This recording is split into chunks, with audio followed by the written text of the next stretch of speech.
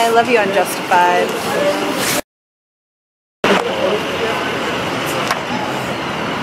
Thank you very much. Thank you.